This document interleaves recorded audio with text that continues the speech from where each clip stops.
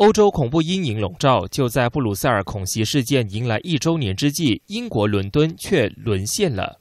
一名男子当地时间二十二号下午乘坐一辆四轮驱动车血洗著名旅游景点西敏寺桥，轿车横冲直撞，撞伤许多路人后没有停下，反而继续狂奔，一直到国会大厦附近才停下。凶徒步出汽车后，持刀刺伤几名警员，随后还试图硬闯国会，最终遭在场的警察开枪制服。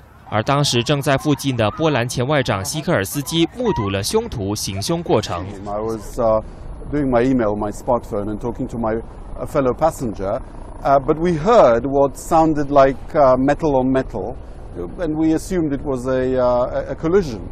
But then we looked outside, and, and I saw one person down, then another.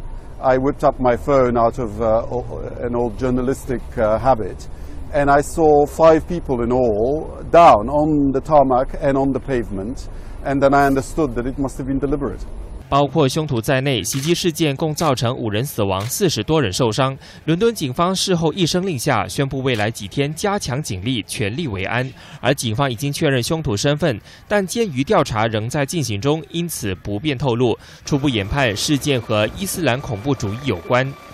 I will not comment on this stage the identity of the attacker. but our working assumption is that he was inspired by international terrorism. I should also say at this stage that we believe now approximately 40 people have been injured, uh, including several with serious injuries, um, including three police officers, two of whom are in serious condition. 英国首相特丽莎梅召开紧急会议商讨对策，随后宣布不会提升恐袭警戒级别，同时谴责这是一起蓄意的卑鄙和病态行为。Tomorrow morning, Parliament will meet as normal. We will come together as normal. And Londoners and others from around the world who have come here to visit this great city will get up and go about their day as normal.